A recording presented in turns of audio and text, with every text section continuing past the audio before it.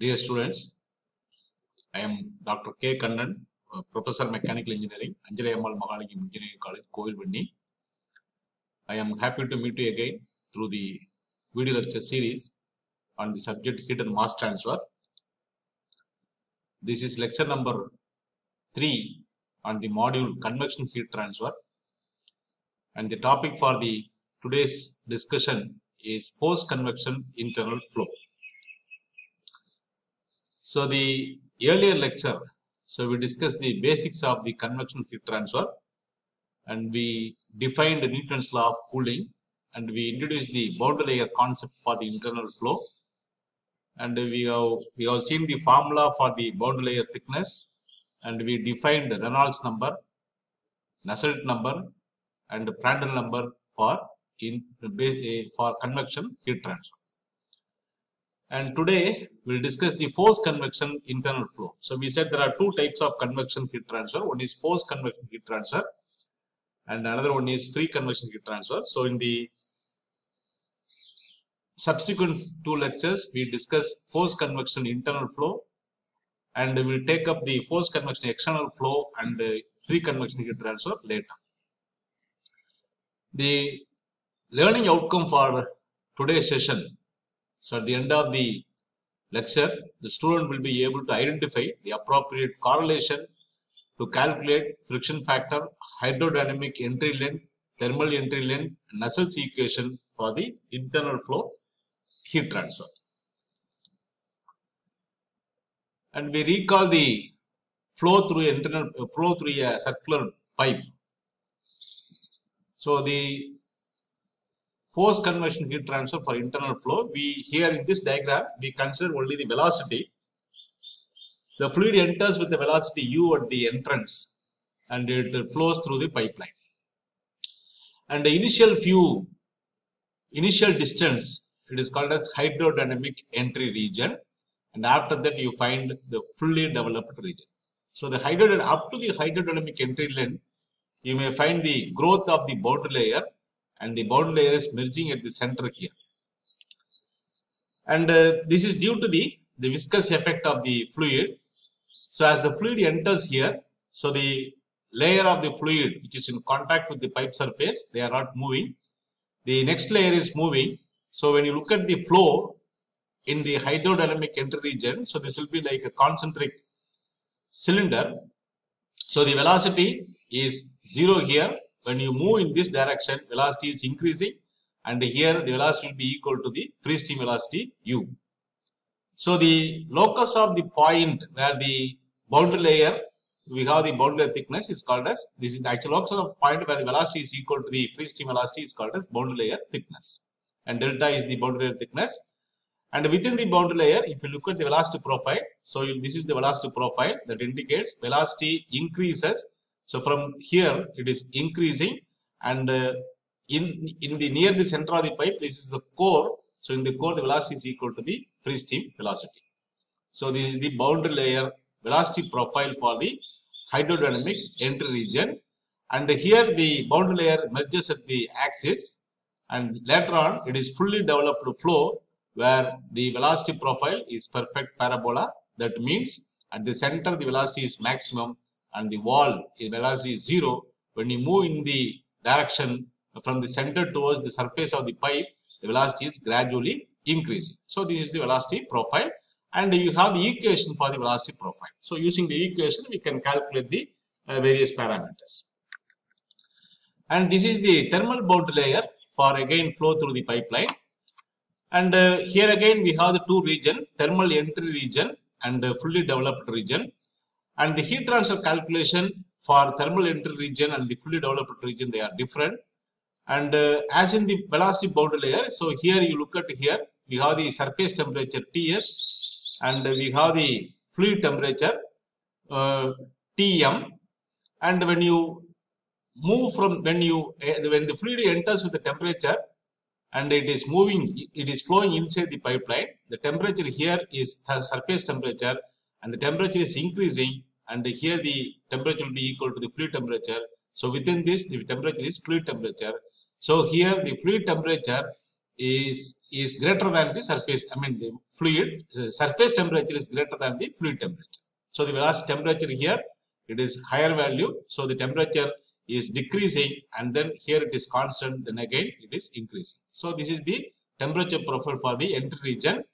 And uh, the thermal boundary layer. So here the temperature profile the thermal boundary layer it is merging at the center so the length up to which we have a boundary layer it is called as thermal entry entrance region or thermal entry length so this length is called a thermal entry length so after that we have thermal fully developed uh, I mean fully developed region and here we take two different surface conditions. So this is first surface condition where the surface temperature is constant and here the surface heat flux is constant. So the temperature in the pipeline is kept constant.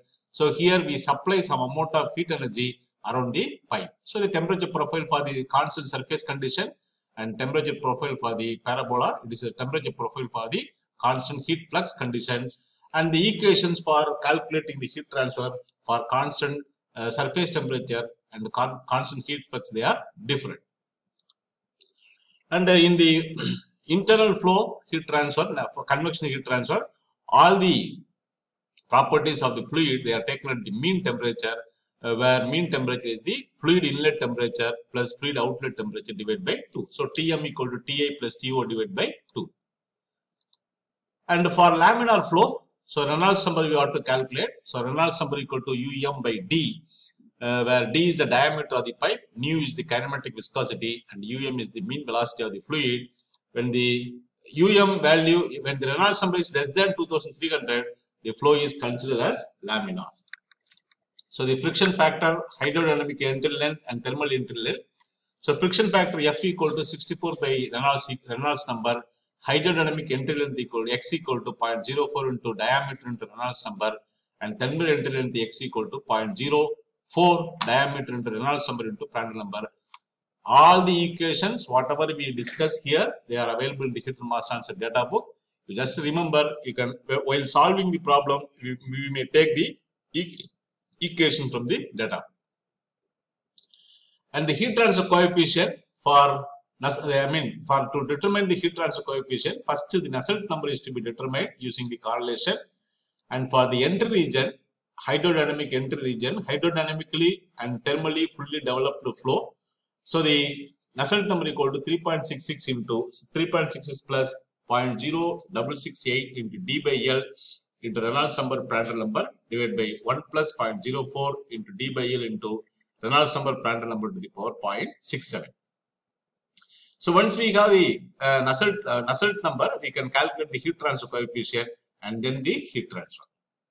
And the fully developed thermal layer. So for fully developed thermal layer, Nusselt number equal to 3.66 and this is for the constant wall temperature condition. And uh, simultaneous development of hydrodynamic and thermal bound layer, constant wall temperature, Nusselt number equal to 3.66 plus 0.104. Reynolds number, Prandtl number into diameter divided by x divided by 1 plus 0.6 into Reynolds number, Prandtl number, diameter divided by x to the power 0.8, where x is the length. x is the length, d is the diameter. And for fully developed thermal layer, constant heat flux condition, Nusselt number equal to 4.36.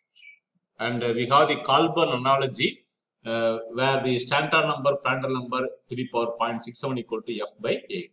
So Stanton number already we have defined. This is equal to Nusselt number divided by Reynolds number into Prandtl number. And other than the uh, circular section, non-circular section, we can use the table uh, for calculating the the various Nusselt number and uh, the friction factor equation. So this table is very much available in your Heat and Mass data book also. So we can refer to it for solving the problem. And for turbulent flow, when the Reynolds number is greater than 2300, the flow is considered as a turbulent flow for internal uh, pipeline.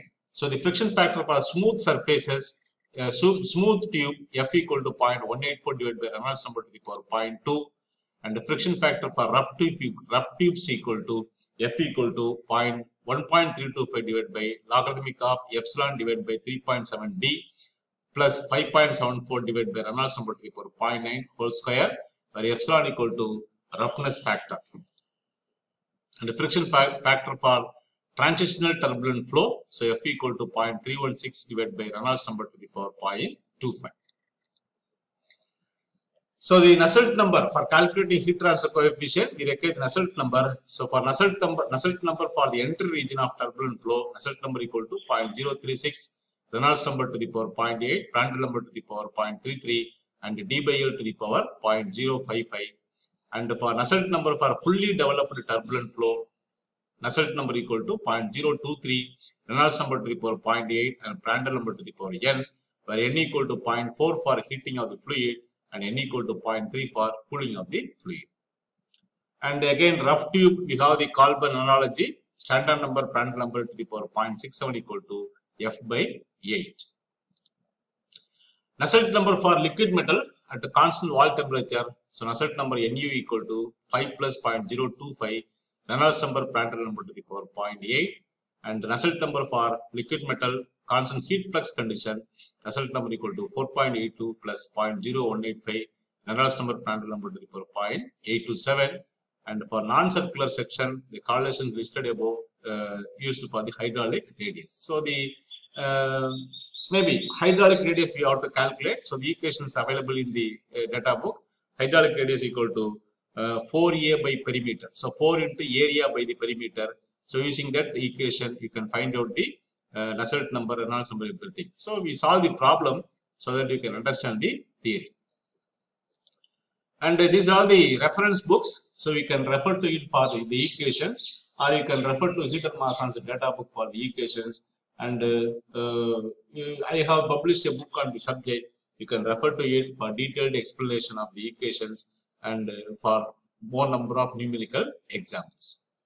So if you have any queries, you can write to me to my mail ID. I will sincerely answer. So until then, thank you. And you can also make a comment on the video about the uh, about the usefulness and uh, about the uh, any any suggestions for improving the video lectures. Thank you.